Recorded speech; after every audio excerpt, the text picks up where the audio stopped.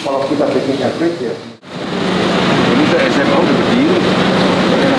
Pak. selamat kita nama saya Johan Pak. Saya komponen produksi. Kondisi cuaca dan kawan-kawan turun drastis di 300 ton per hari PKS ini sebenarnya kita menghasilkan settle Pak. Maka saya nggak terlalu kita akan berusaha untuk mendapatkan bulan ini di bulan ini kita dapat target 1.400 ton Pak Ini ini kan curah. Ya, ini minyak gula Pak yang masih Tapi ini ada lima. Nah, salah satunya hari ini itu kita harus wajib 120 ton per hari. Tingkat produktivitasnya berapa persen? Yang tadi betul Indonesia, tapi ya plus minus ya Pak, masing-masing daerah. 460 jadi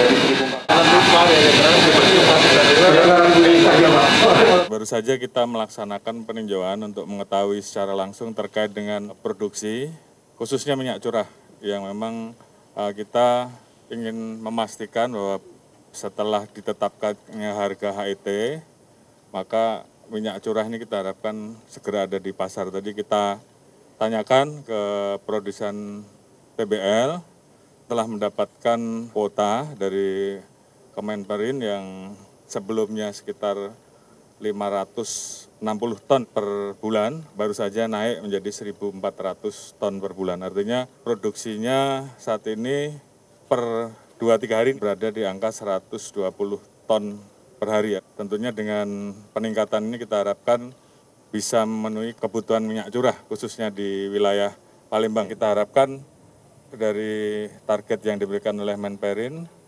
betul-betul bisa dipenuhi oleh uh, TBL sehingga kebutuhan minyak curah khususnya bagi masyarakat karena kita akan masuk bulan Ramadan segera bisa terpenuhi karena memang ini sangat dibutuhkan oleh masyarakat-masyarakat kita yang uh, selama ini memiliki ketergantungan terhadap minyak curah khususnya para pedagang kaki lima dan uh, kelompok masyarakat tertentu yang kita lihat uh, sangat membutuhkan dan ini kita harapkan terus bisa ditingkatkan.